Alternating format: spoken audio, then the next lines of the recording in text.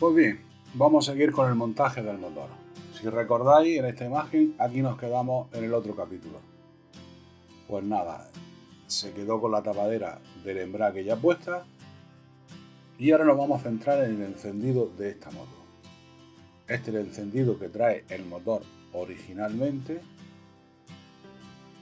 y vamos a desmontarlo por completo.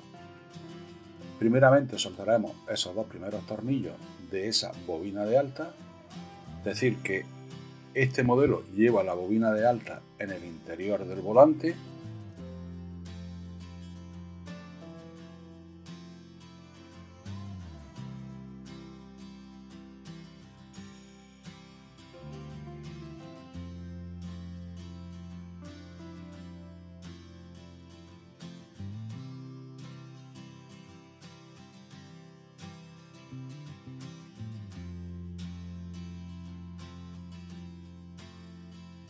Seguimos retirando la bobina de alumbrado, quitamos sus dos tornillos y la tenemos ahí suelta. Como veis, esa bobina sale independiente ya que solo es para el alumbrado y esta de alta lleva un cablecito que va a los platinos junto con ese cable negro. ¿Para qué sería ese cable negro? Pues sería para hacer el pare de la moto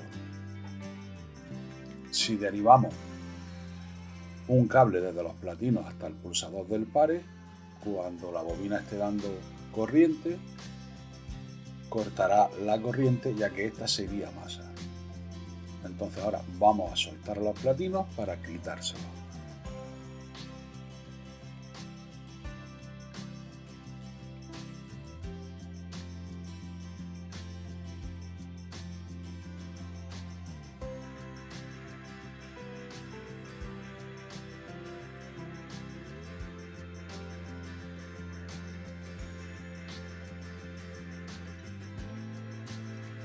Ya le hemos soltado el primer tornillo de sujeción de los platinos y ahora lo que estoy aflojando es donde van enganchados los cables.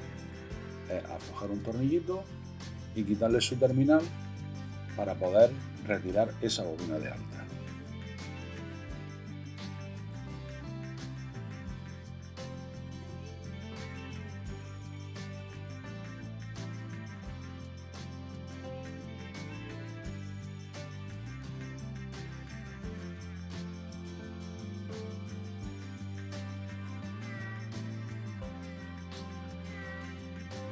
Ya tenemos la bobina retirada de ese tornillo que lleva el platino y ahora le pondremos de nuevo el tornillo del fleje junto con su tornillo de sujeción y su arandela de aislante que lleva el platino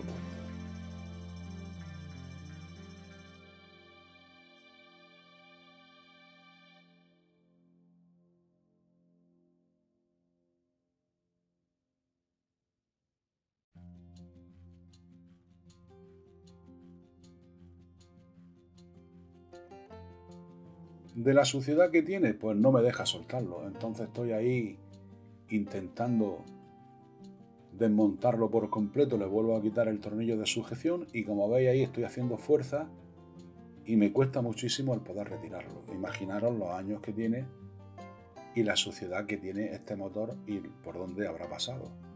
Entonces el platino en el orificio donde encaja está totalmente agarrado. Pues bien, ya la hemos quitado y lo que acabo de dejar es la excéntrica que hace luego la regulación del platino para que abra más o abra menos.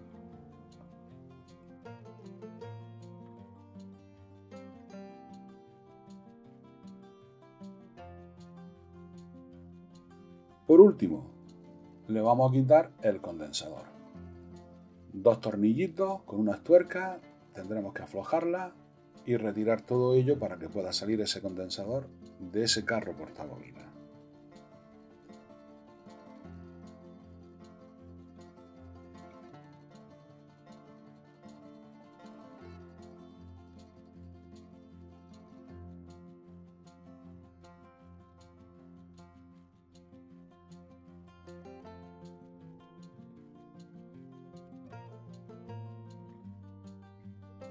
Esa tuerca pues me está dando el tormento junto con el tornillo, ya que están un poco pasadas.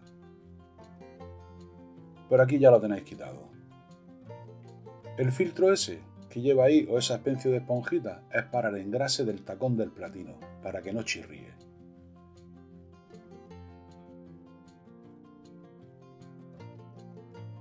Y bueno, pues es el aspecto que tiene y ahora aquí os dejo un despiece de todo ese encendido.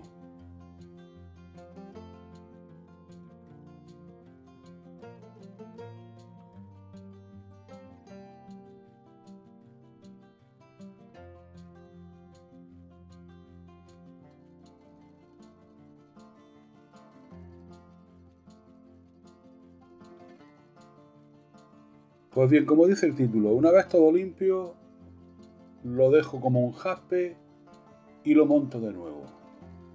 Monto todos sus elementos y me lo llevo a la maquinita que tengo para probar si funciona o no. Y no, esta es la causante. La bobina de alta no funciona. Entonces, al no funcionar, como vuelvo a decirlo aquí en este título, me vuelvo de nuevo al encendido del otro motor. Este es el aspecto que tenía.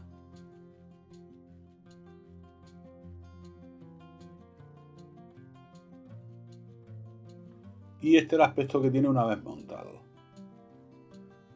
Entonces, pues le pondremos el otro encendido. Ahí ya le he introducido el cilindro junto con su pistón. Como veis, gira libremente no hay ningún problema y funciona bastante bien y parece que tiene buena compresión. Este cilindro y pistón es del otro motor. La culata es del motor antiguo. Entonces, este motor lleva, siendo el mismo modelo, lleva de ambos. El resultado es el mismo, lleva piezas de un motor más antiguo y de un motor algo más moderno y ya tan solamente lo que me queda es pues comprobar a ver si tiene corriente. Ahí, en este primer salto ha saltado la bujía y se ha visto un poco. Vamos a ver de nuevo a ver si nos tira corriente. Pues bien, ahí estoy viendo la bujía que nos da corriente. Es que el tornillito donde hay que meter la llave para poder que salga el salto es bastante complicado. Pero aquí lo tenéis más claro. Y bueno, Aquí os voy a dejar una serie de fotos del motor una vez terminado, con su carburador, con su encendido, con su tapa y con todas las cosas. Y como siempre digo, si os ha gustado el vídeo, pues me dejáis un like.